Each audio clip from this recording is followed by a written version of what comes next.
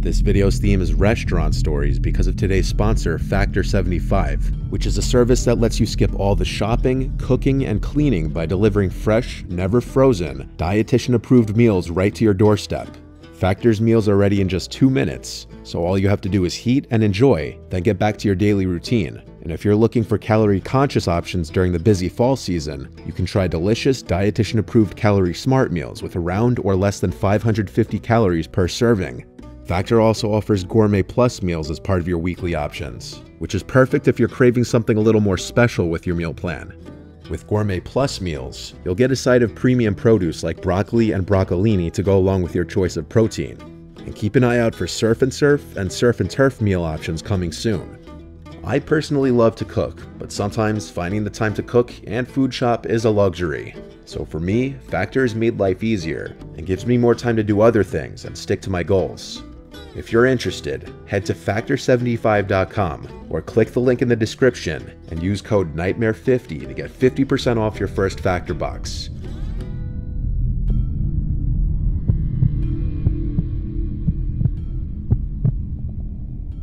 When I was 25, I went on a solo trip to Rio de Janeiro. My favorite DJ would be there that weekend, and I always wanted to go anyway. I've traveled solo many times in my life and never had any issues. Airbnbs aren't expensive a little outside of the city, and the one I was staying at was very nice and comfortable. It was its own little one floor house, but the whole inside was very modern and clean. The Friday that I landed, I unpacked at the Airbnb, grabbed dinner, and went to the rooftop venue where the DJ would be performing. The first day and night all went well, and I met some really cool people at the rooftop James, Ethan, and Jess. Ethan and Jess were dating, James, I guess, was third wheeling on the trip.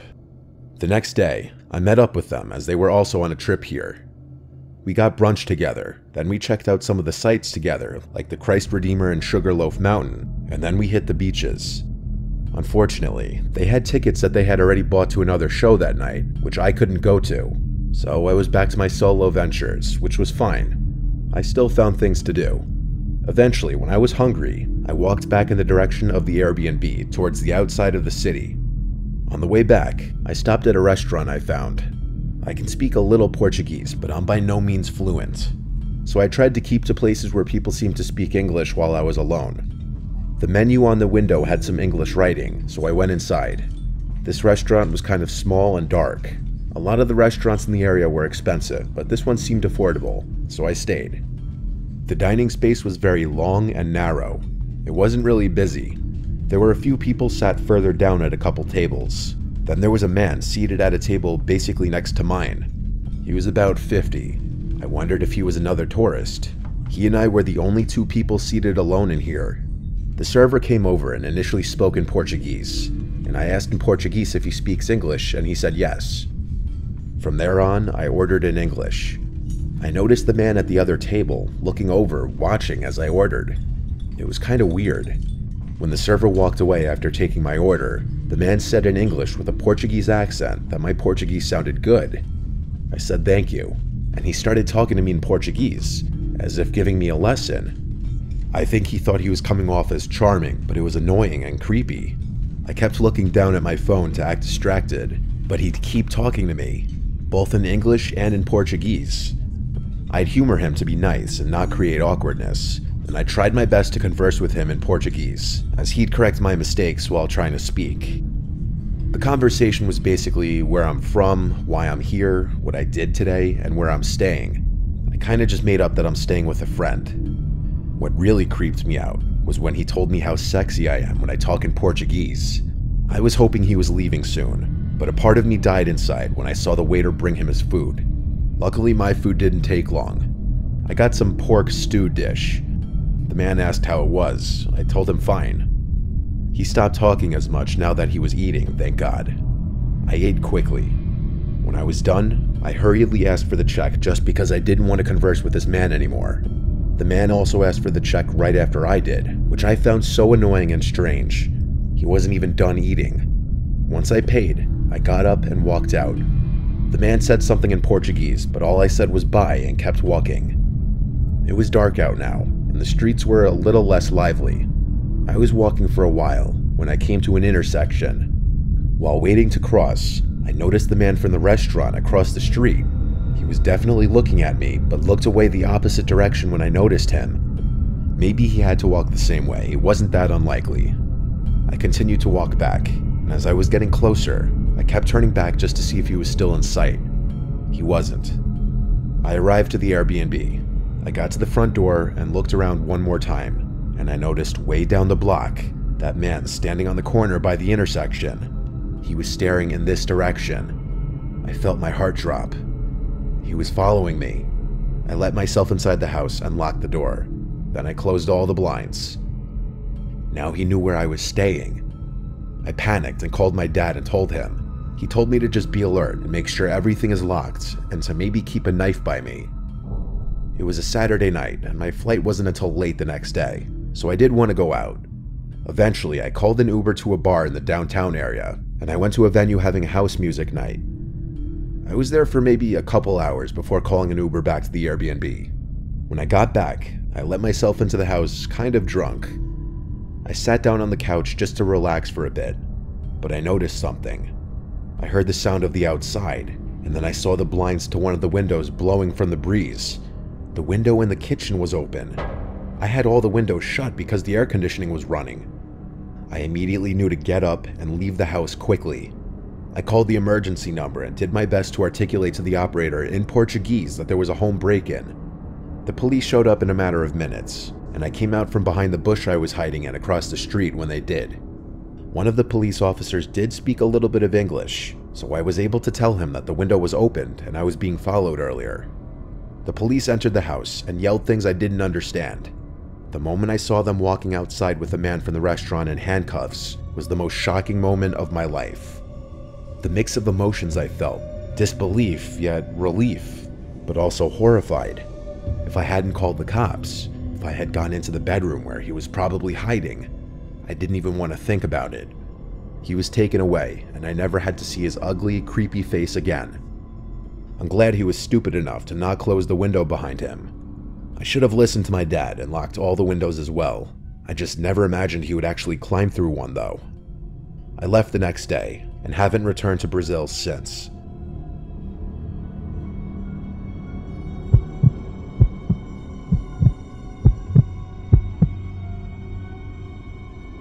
It was the holidays. Most of my friends were away, so I had decided to look for a part-time job to earn a bit of money. After waiting around for about a week, I finally got a call from a nearby restaurant asking me to come in for a trial. I had a fair bit of waitering experience, so I wasn't too surprised when the owner offered me the position. The place had a really creepy atmosphere to it. It was small, dimly lit, and every so often, a terrible smell would circulate through the air. It wasn't somewhere I would have usually gone for, but I needed the money and kept reminding myself that I'd only be here until college started back up. Anyway, it was around 10 p.m., and I was out the front by myself, cleaning the cutlery while I waited for the last table to leave. It was a table of four big guys. They were pretty rough looking. In fact, if I passed them on the street, I would have assumed they were homeless. Half an hour passed, and they finally got up to leave. I smiled as one of them came to the register to pay. That's 4250 altogether, I said. He immediately handed over a bunch of crinkled notes with a big grin on his face. Unfortunately, I had seen this kind of look before and braced myself for the cheesy pickup line. He said to me, You doing anything tonight, cutie? bringing himself closer to the register.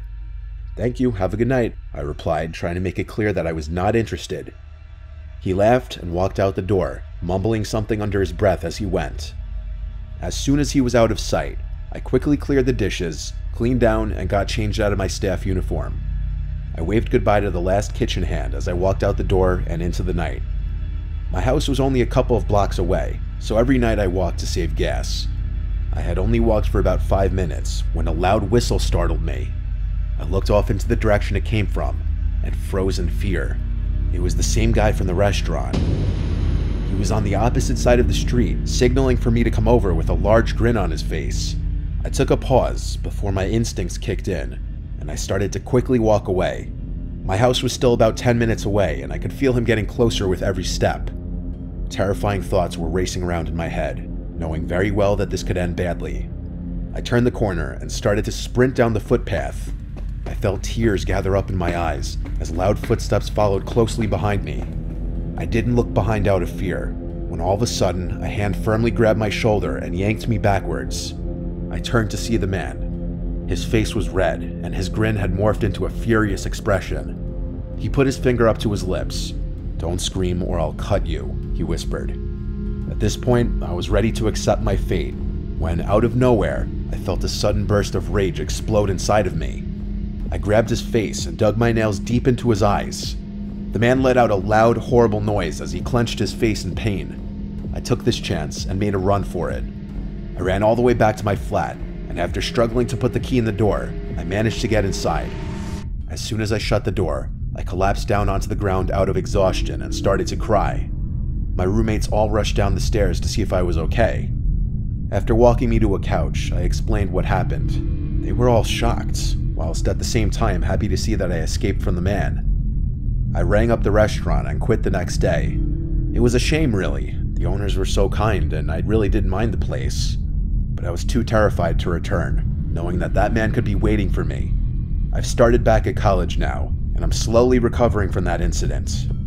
Sometimes I do get nightmares just thinking about what may have happened if I hadn't attacked that man like I did.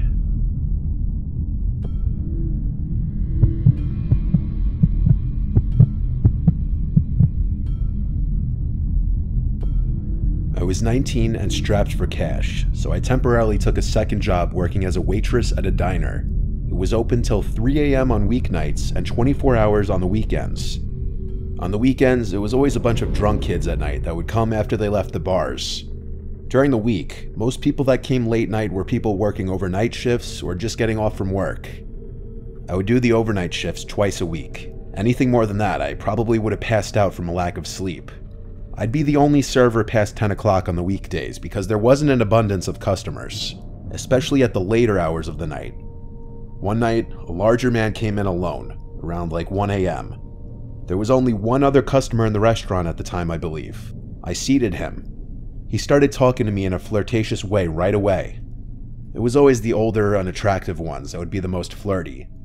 I had to deal with it with a smile, though, as I basically was working on tips. He ordered a burger and a milkshake. Then he told me his name, Trevor. Trevor would keep staring at me from across the diner as I would be sitting doing things on my phone.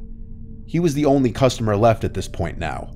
He called me by my name over to the table. I went over with a smile and he asked for the check. He left after paying, and when I went to collect the tip and clean the table, I noticed along with the $5 tip, he left his number and a winking face on the bill. Gross. I crumpled it up and threw it away. I thought that was the end of Trevor and I's story, but it wasn't. A few nights later, in came Trevor again, super late at night when no one else was in the place. I greeted him and sat him to a table. He actually hit me with a, How's my favorite server doing tonight? which was odd considering I only served him one time. He again started some conversation with me, and I was way too exhausted for this, but I had to put a smile on my face and entertain it. I thought maybe this time he'd give a better tip if I acted interested, but that backfired because he mistook my friendliness as interest and invited me to come on his boat sometime. I asked what kind of boat it is to play along, and he showed me a picture of this tiny little thing that could barely fit two people based on the looks of it. I said, Oh wow, my dad has a boat too.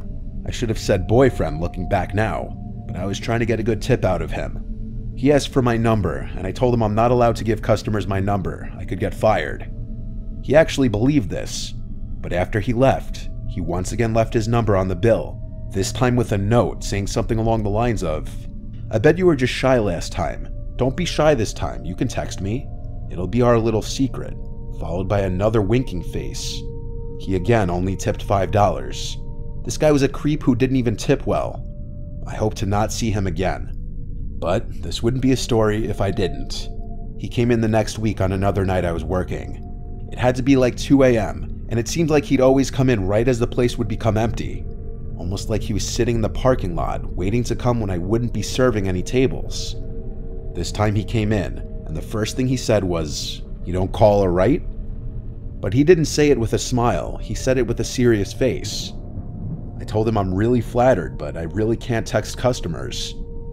He didn't say anything, he just walked out.